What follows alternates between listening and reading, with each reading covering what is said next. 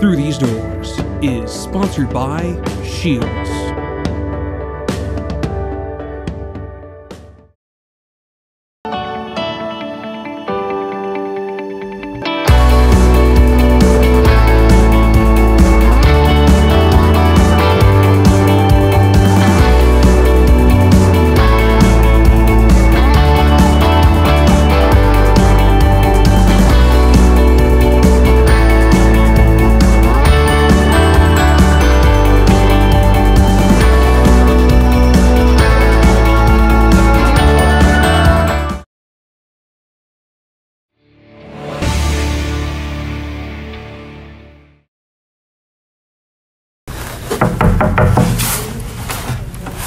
Oh, hey, MTV. Hey, Welcome.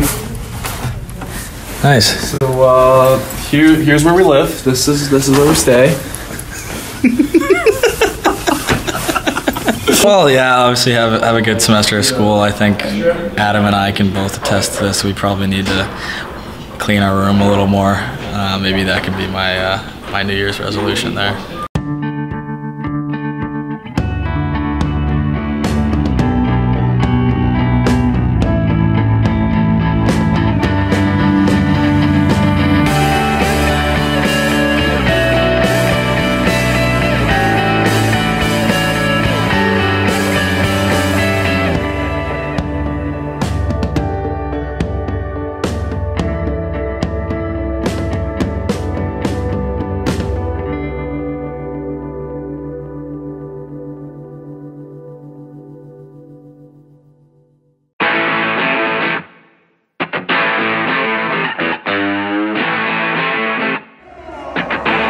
After a long winter break hiatus, UND hockey returned to the Ralph to face the U.S. under 18 team in an exhibition matchup. With the knowledge of the U18 squad taking down the number one ranked St. Cloud State Huskies two nights earlier, the Fighting Hawks knew they needed to come out strong. Rhett Gardner got things underway less than four minutes into the game on the power play.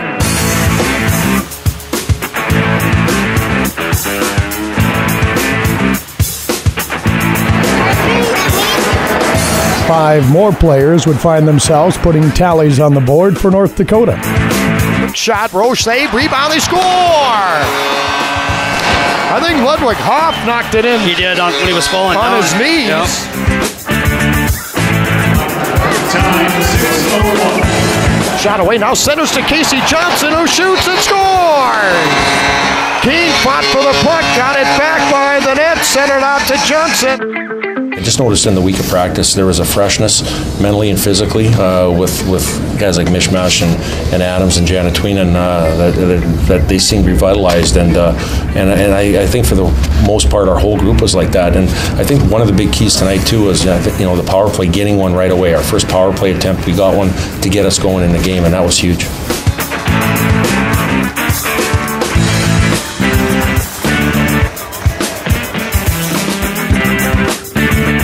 Janet Tweenan centered and Adam scores! Janet Tweenan took a look, saw Collin Adams coming out of the slot.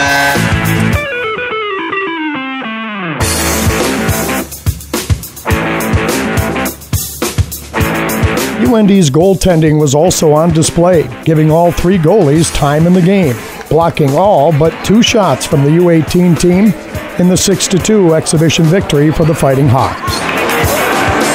I mean, obviously, you know, the first half, you know, personally probably didn't go the way I uh, had wanted it to, and you know, left me a, left a little bad taste in my mouth. So, you know, having a good first outing is, um, you know, definitely a step forward, and you know, hopefully, uh, there's more more to come.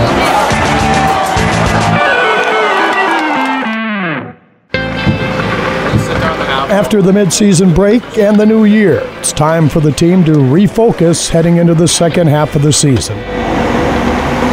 I think we talked about it. I think uh, the biggest thing is we just every weekend counts now. It's the second half. It's uh, it's big. We need as many points as we can for the NCHC and uh, for the pairwise. So yeah, every weekend's huge, and uh, we got to take it one week at a time.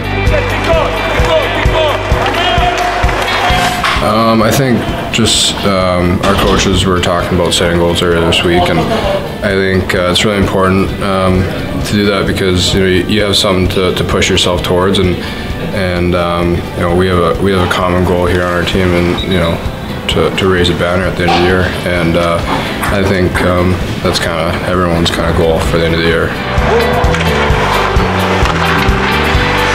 I think obviously it's it's big uh, to have goals, obviously, but um, I think for us it's it's kind of just coming to the rink every single day and doing the right things and and all those goals and, and things that we want to do will take care of itself, kind of thing. Um, I think obviously we want to have a better better second half than than the first and, and end the season strong. Setting goals or making New Year's resolutions for the rest of the season and in each of the players' own lives is an important step in returning for this next part of the season. I didn't have maybe a New Year's resolution, I would say. I think more just, you know, coming into the second half, uh, you know, and, and take another step um, for myself and, and for our team. Uh, you know, I don't know if I set uh, a New Year's resolution to say though. Um, personally, I just want uh, the goal for me is to play every game just as hard as I can, and uh, personally just uh, want to be able to go out there and uh, contribute for the team as best I can. Um, well, I think I think just continuing staying in the lineup and and uh, contributing. Um, I don't really have too many New Year's resolutions, but um, I guess hockey-wise, um, just having a good second half and, and uh, working hard every day. Uh, I think it's always important to set your goals high. Uh, I think it's also good to set them achievable. You got to have something that you, you, look forward to and something that you strive to do every day. And it can be as simple as just something you do on a daily basis, or as simple as, or as complex as uh, something you want to do in the in the future ways. And for us, that's going to be probably uh, trying to get to the national tournament and maybe uh, win a national championship.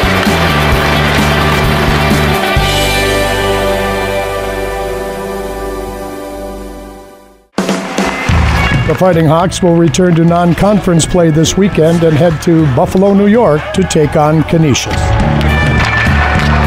Yeah, I don't know a whole lot about them. I know that their, you know, their ranking probably doesn't show, you know, how good they are. Um, these are two huge, huge games for us uh, in the pairwise, and um, you know, I think we just have to do our job, and, and everything else will take care of itself. So um, obviously, I don't know a whole lot about them, but um, I think it'll be a good weekend for sure.